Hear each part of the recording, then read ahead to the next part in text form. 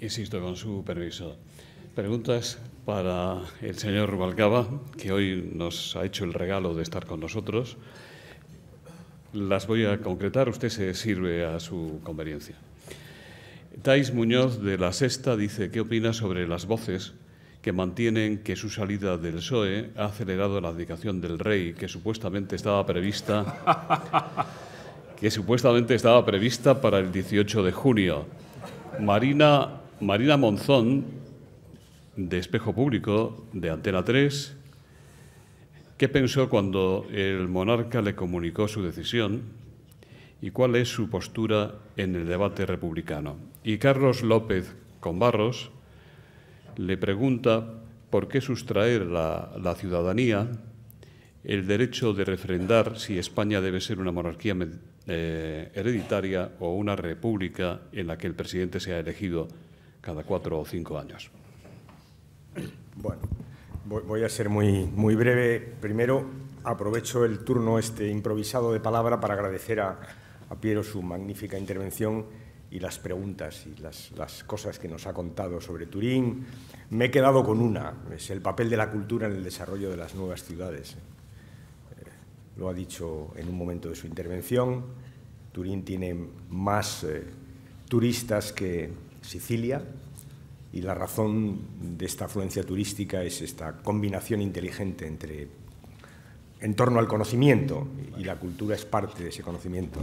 Lo digo por si alguien quiere tomar nota, no, no, no, no crean que tiene segundas intenciones esta intervención.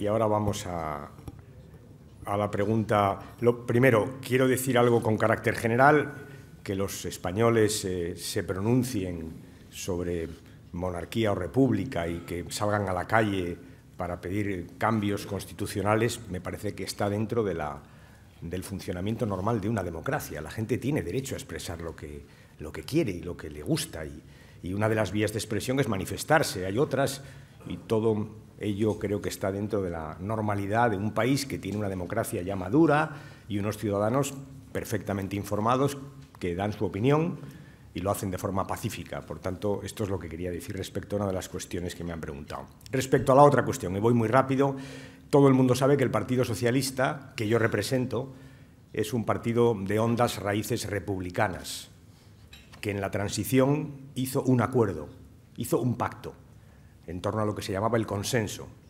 Es un pacto que nos ha permitido 35 años de desarrollo económico, político, social, seguramente inéditos en la historia de España. Este pacto se articuló en torno a distintos elementos, consenso, convivencia, estabilidad política y una monarquía parlamentaria.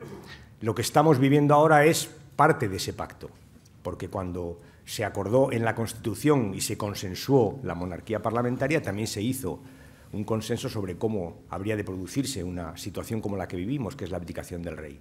Estamos, por tanto, cumpliendo previsiones constitucionales en un marco político que es el del consenso que el Partido Socialista, al que el Partido Socialista llegó con otras fuerzas políticas en España y que permitió nuestra transición. Así lo veo. Nosotros estuvimos en ese consenso. Es más, no, digo que fuimos los protagonistas, sería, sería un, exceso, pero que fuimos protagonistas de ese consenso. Ese consenso ha permitido una larga eh, historia de estabilidad y de progreso en España y ese consenso nosotros no lo vamos a romper. Está ahí. Creo que es un valor.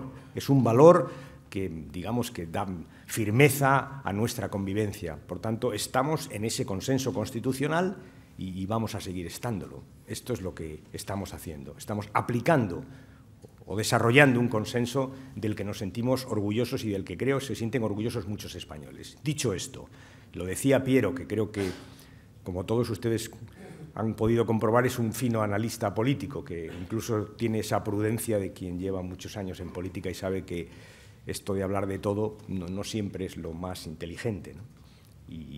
pero ha dicho una cosa que me parece muy importante y que en parte tiene que ver con lo que el Partido Socialista dijo ayer en relación con este momento que vivimos.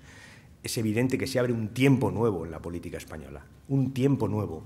Y cuando se abre un tiempo nuevo, aparecen oportunidades, aparecen cambios.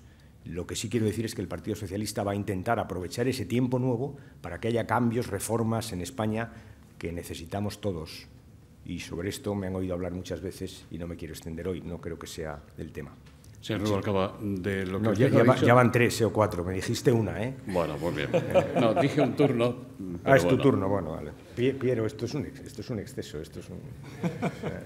A ver, venga. ¿Puedo? Venga, tira. El PSOE votará sin fisuras a favor de la ley orgánica que hoy aprueba el Gobierno. ¿Han consensuado ustedes el contenido de esa ley? No, no conocemos la ley todavía, su materialización, su, su materialidad. Ayer por la tarde nos informaron de, de cómo pensaban hacer este proceso, eh, en, en el que las Cortes toman nota de una decisión del rey. El rey ha decidido abdicar y a partir de ahí esa abdicación tiene que tener una formalización jurídica que corresponde hacer a las Cortes, que a través de una ley orgánica va a tomar nota de esa decisión del rey para que el acto de abdicación adquiera formalidad jurídica y por tanto se produzca el relevo en la jefatura del Estado. E- ese es el planteamiento que nos comunicó ayer el Gobierno. El texto de la ley no lo hemos visto y cuando lo veamos será hoy, pues diremos nuestra opinión. Ahora sí que sí, ¿eh? ya, Ya, desde ya. luego. Muchas gracias.